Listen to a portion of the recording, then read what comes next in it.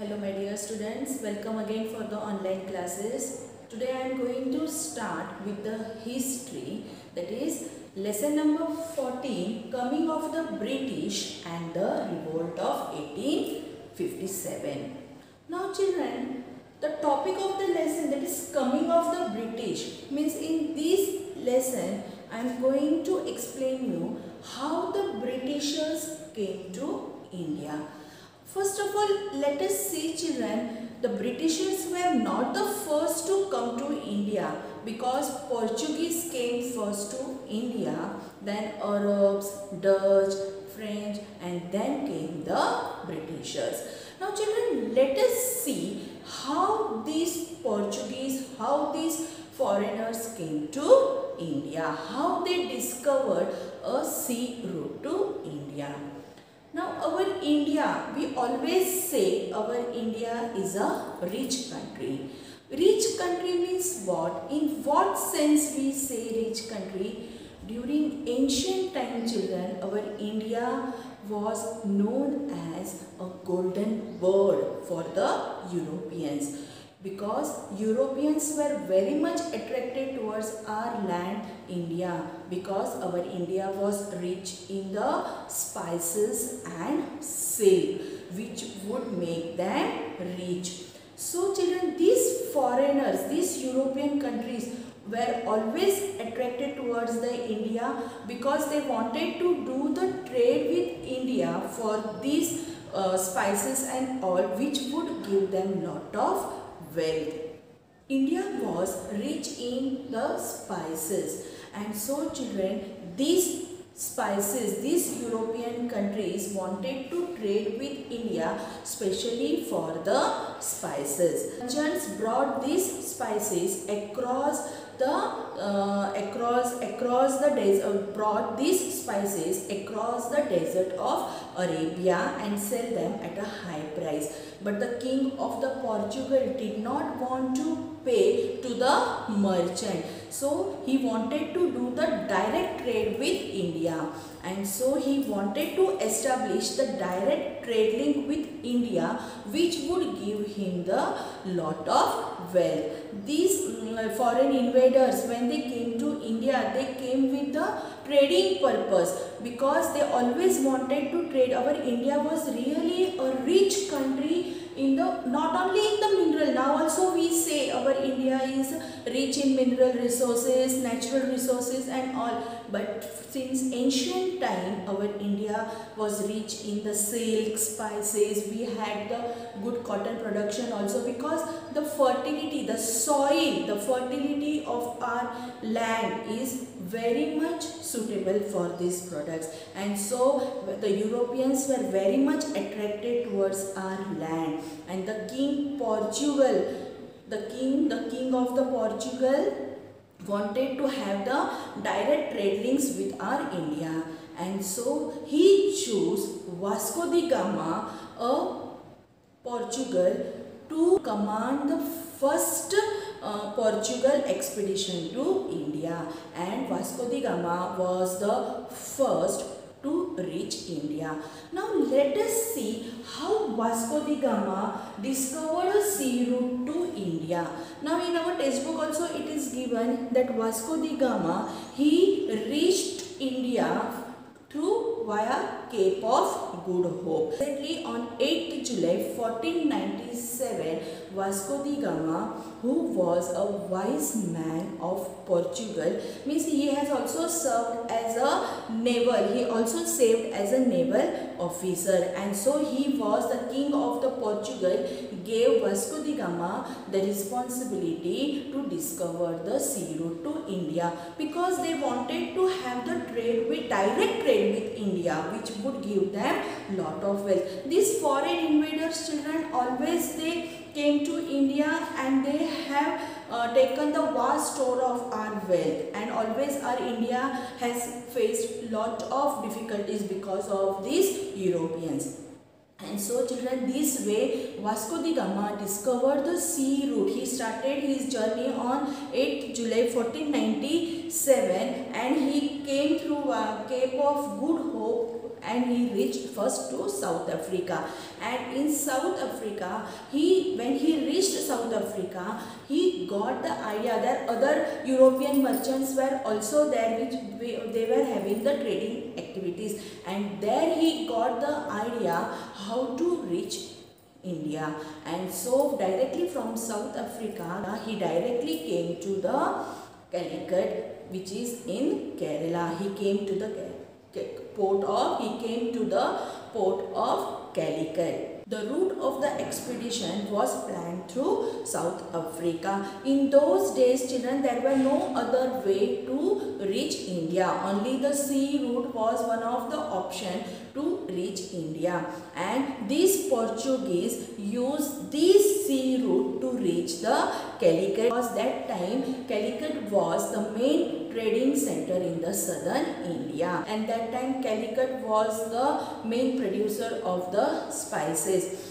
and there he when Vasco da Gama reached Calicut he sent the messenger to the ruler of the Calicut. And that time Zamorin was the ruler of Calicut. And he he sent his messenger directly first of all Vasco da Gama didn't reach to Zamorin but the messenger gave him the message that Vasco da Gama wanted to have the trading activities with you and he want to have a meeting with you for this discussion.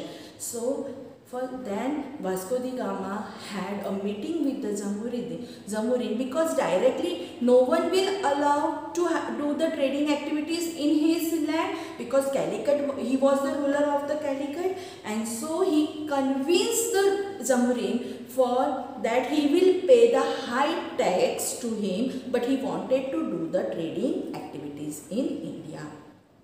And so children, this way Vasco da Gama convinced the ruler of the Calicut and he got the monopoly for the monopoly right over India for the trading activities. And this way Vasco da Gama discovered the sea route to India via Cape of Good Hope. And the main purpose to discover the sea route to India was the trading activity. Because our India was rich in the spices and the silk. So children, this is the discovery of the sea route. This is how the Vasco da Gama discovered the sea route to India. Now let us see children, what is East India Company? Now Portuguese reached to India. It is not that Vasco da Gama at one time only he did many times Vasco da Gama he came to India for the through sea route only he came to India. He had the trading activities. Then again he used to go back to the Portuguese again. So this way he used to take the products from India. He went to Portugal, Portugal. There he sent and this way many times he had the trading activities. But children, by this way, other European countries like Dutch, Holland, France and Britain were also attracted for the trading activities with India. They also wanted to have the trading activities with India. And so, the Britishers, when they came to India, a few British merchants, a few British merchants, when they came to India, they saw that the, the trading activities with India will give us a lot of wealth. And you know children, Britishers were having a very um, cunning nature and children, they wanted to have all these wealth with them. They wanted to have the whole and they wanted to become the whole and soul. And this way the Britisher, a British, few British merchants who came to India, they decided that we should establish the East India Company. And the East India Company was established because direct trading, it, there, it had many restrictions to have the direct trading But children, once the East India Company was established, the company had many rules and regulations which each and every foreign country has to follow. And so a few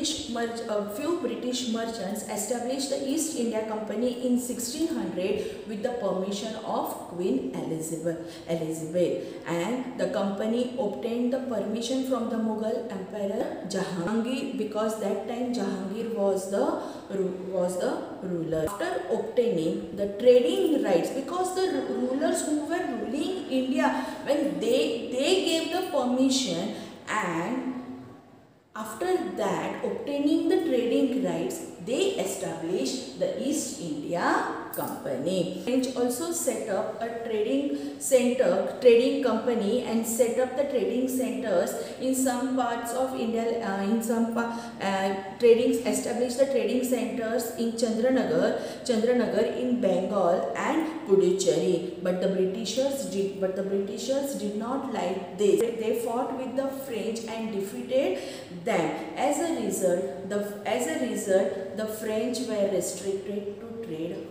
with the India.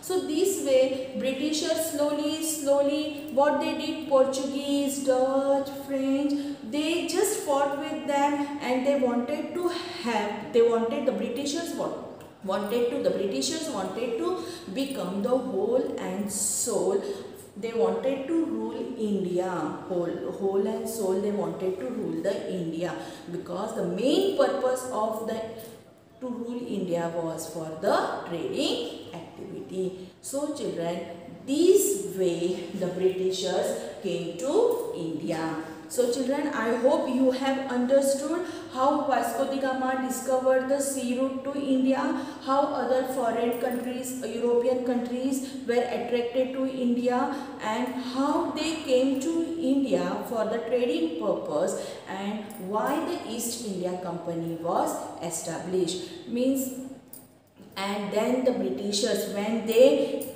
they came to India for the trading purpose. They footstep in India and then they started exploiting our Indians. So children, for today, I hope you have understood the concept. I will stop here. You will read the concept Discovery of India and East India Company from the textbook thoroughly. Okay, so for today I will stop here. Read the concept from the textbook thoroughly. Thank you.